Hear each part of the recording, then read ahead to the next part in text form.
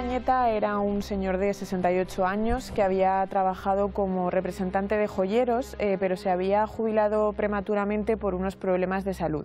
Desde entonces él tenía una vida pues eh, tranquila, bastante rutinaria, bastante cómoda, vivía solo en un caserío, entonces por las mañanas pues bueno, desayunaba con calma, se daba un paseo, luego le gustaba mucho comer por ahí, como buen vasco, y por las tardes sí que tenía una costumbre que era pues quedarse en, en el coche cerca de su casa, cerca de la valla, porque ahí había una zona en la que daba el sol y se quedaba pues un ratito ahí traspuesto echándose la siesta.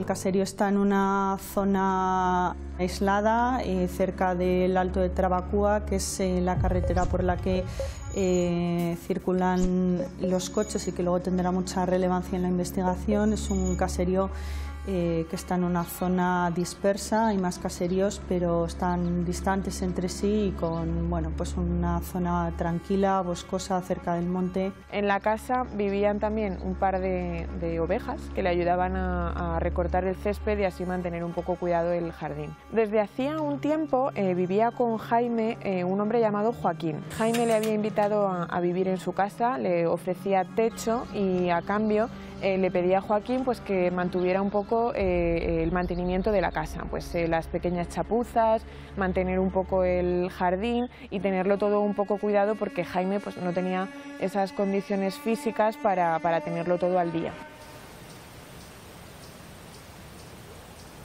Joaquín tenía una pareja de unos cuarenta y pico años y se caracterizaban por tener una relación un poco tormentosa. Tenían bastantes discusiones, idas y venidas.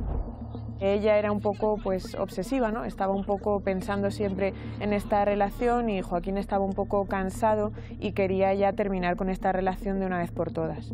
Una vez que María Jesús se había presentado en el caserío para hablar con Joaquín, Joaquín en un principio se negó a hablar con ella porque ya daba por finalizada la relación y bueno, pues Jaime, que al parecer era un hombre muy pacífico y que no le gustaban los conflictos, incluso se ofreció a llevar a María Jesús y la llevó hasta casa y luego volvió él al caserío.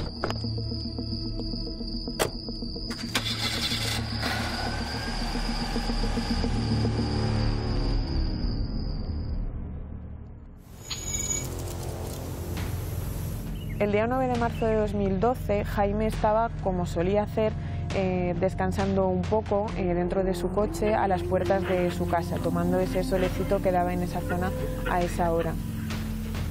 Cuando de repente se vio sorprendido por su atacante, fue ferozmente atacado, recibió 112 puñaladas y murió en el acto, prácticamente por la pérdida de sangre.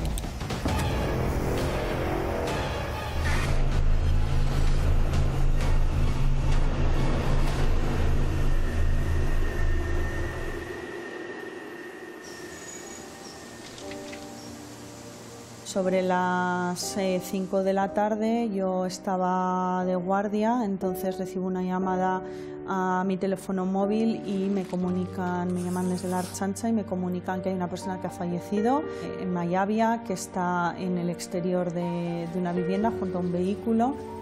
En un primer momento los datos son muy confusos, no se sabe exactamente qué es lo que ha ocurrido, se barajan eh, numerosas hipótesis.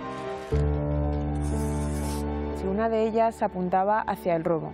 En la zona había habido recientemente eh, varias sustracciones, varios hurtos en los domicilios. Además, eh, a la víctima le faltaba la cartera y un testigo de la zona dijo que le parecía haber visto a un par de hombres sentados en un coche. Con lo cual, una de esas primeras vías de investigación fue la posibilidad de un robo con violencia.